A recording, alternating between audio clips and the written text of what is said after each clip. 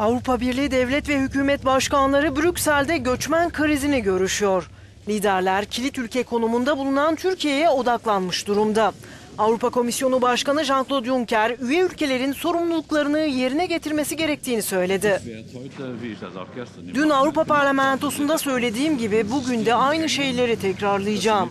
Üye ülkeler 23 Eylül tarihinde Brüksel'de verdikleri sözleri yerine getirmeliler.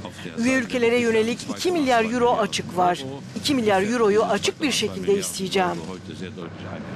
Pazar günü Türkiye'ye bir ziyaret gerçekleştirecek olan Almanya Başbakanı Angela Merkel, hükümetlerin dış sınırların sertleştirilmesi için daha fazla personel sağlaması gerektiğini söyledi.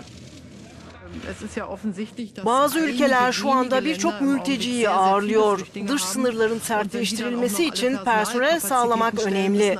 Yükün adil bir şekilde paylaştırılması farklı bir olay.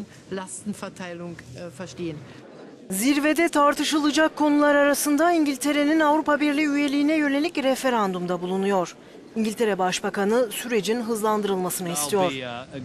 Değişiklik gerektiren dört alanı yeniden belirleyeceğim. Kasım ayının başında müzakerelerin hızlandırılması için değişikliklerin ne yönde olması gerektiğini anlatacağım.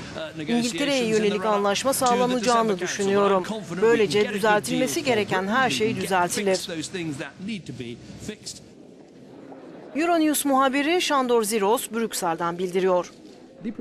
Bazı diplomatlar zirveden önemli karar çıkmayacağını belirtiyor. Tartışmalar uzatılmayacak. İki günlük zirve bir günle sınırlandırıldı. Bu akşam zirvenin sona ermesi bekleniyor. Ma este véget ér a megbeszélés. Zsíros Sándor, Euronews, Brüsszel.